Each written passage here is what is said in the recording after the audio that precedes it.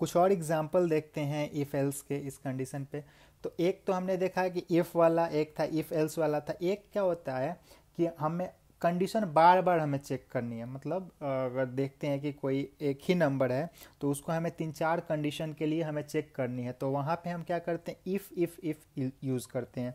एकदम सिंपल है। अब यहाँ पे इफ़ कंडीशन अगर कंडीशन ट्रू है तो ये स्टेटमेंट्स या नंबर ऑफ़ स्टेटमेंट्स यहाँ पे एक ध्यान रखने वाली बात है कि यहाँ पे जो भी स्टेटमेंट्स है इसका अंदर तो वो इस कंडीशन का ट्रू होने पे कौन कौन से स्टेटमेंट एग्जीक्यूट होने हैं तो वो इस ब्लॉक के अंदर आएगा। कंपाउंड ब्लॉक्स भी इसको बोलते हैं। अब क्या है कि यहाँ पे दोबारा से एक कंडीशन चेक होगी। अगर वो ट्रू है तो ये एग्जीक्यूट हो जाएगी। अगर ये भी ट्रू है तो ये लाइन एग्जीक्यूट हो एग्जीक्यूट हो जाएँगी। तो अब क्या है कि एक तो ये एग्ज़ाम्पल हो गया।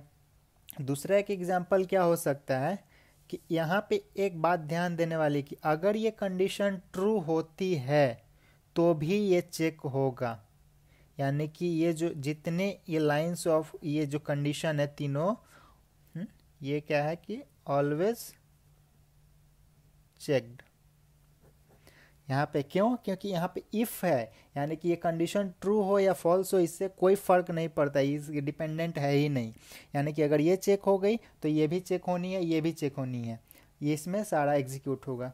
अब क्या है? थोड़ा सा डिफरेंट इफ़ अगर ये कंडीशन ट्रू होती है तो ये जो है स्टेटमेंट एग्जीक्यूट होगा। एल्स इफ़ हाँ यहाँ पे ये ध्यान देने वाली बात है कि यहाँ पे क्या इफ़ कंडीशन इज़ ट्रू तो ये स्टेटमेंट एग्जीक्यूट हो। अगर ये कंडीशन फेल हो जाती है, अगर ये कंडीशन फेल होती है तो ही यहाँ पे आए एल्स इफ़ ये कंडीशन क्या होगा? चेक होगा।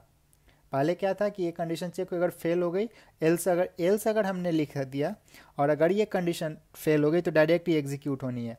लेकिन अब क्या है कि ये कंडीशन हमने यहाँ पे चेक किया। अगर ये फेल हो गई मतलब ये ट्रू नहीं हुआ फॉल्स हुआ तो ये यहाँ पे आकर दोबारा से एक कंडीशन चेक होगा कंडीशन टू अब अगर ये कंडीशन ट्रू हो गया तो ये लाइन्स ऑफ़ एग्जीक्यूट हो जाएँगे, और अगर ये भी कंडीशन फेल हो गया, ये भी फेल हो गया तो ये जो लास्ट जो ब्लॉक है, ये एग्जीक्यूट हो गया।